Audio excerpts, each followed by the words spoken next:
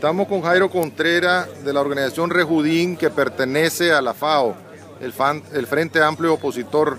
Estamos en Somoto, casualmente acompañando aquí, siendo testigo del juicio que se está llevando a cabo eh, sobre la masacre en el Carrizo. ¿Cuál es tu opinión al respecto, Jairo? Bueno, de que aquí estamos hermanándonos, estamos uniéndonos como nicaragüenses, como ciudadanos que verdaderamente amamos nuestra patria y queremos construir una verdadera democracia.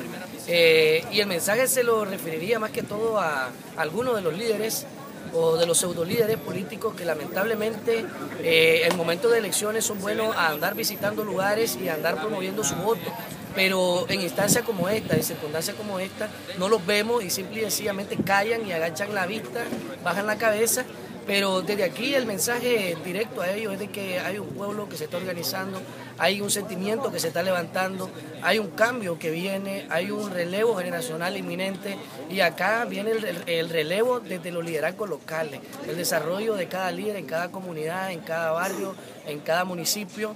Y, bueno, diciéndole aquí a la familia de don Mercedes Torres de que vamos a estar con ellos hasta el final, Vamos a estar con ellos, cueste lo que cueste, de que aquí su sangre no cayó en vano, su muerte no fue en vano, fue por la patria, fue por las libertades del pueblo y por esas libertades continuamos luchando y vamos a seguir en pie. Casualmente andas una camiseta donde sale una foto de Mercedes Torres, en un día que él estaba protestando por, por porque se entregaran la cédula. Claro. Eh, ese fue el pecado de él, protestar por un derecho para que le entregaran cédulas a sus hijos. Claro, y miramos cómo de una manera sanguinaria, tan cruel, eh, llegaron a su casa a asesinarlo de esta manera tan atroz. Y, bueno, desde el hecho de que ando esta fotografía es para decir de que es un símbolo nuevamente heroico, un símbolo de patriotismo, un símbolo de dignidad en, en medio de esta antidemocracia que tenemos para construir un Estado social de derecho donde podamos vivir todos en paz y donde se respeten verdaderamente cada una de las funciones y mantener independencia dentro de las instituciones del Estado. Pues ya has sido víctima también de cierta represalia, te han golpeado, te han encarcelado, eh, no temes por tu vida, ¿qué tipo de seguridad te puede dar una policía que está partidizada? Bueno, de hecho de que legalmente, incluso ante el mismo asunto interno de la policía, he emitido denuncias en cuanto a algunos oficiales. Eh, sé que no puedo contar con su protección para nada. Eh, seguridad, la que me pueda brindar los amigos, los compañeros de la lucha, eh, el pueblo mismo. Y bueno, claro que temo, pero temo más el llegar a, a, una edad más avanzada y decir si tan solo hubiese hecho algo cuando era joven, en algo hubiera cambiado mi realidad. Y eso es lo que me motiva a seguir de frente, a seguir en esta lucha, sin retroceder.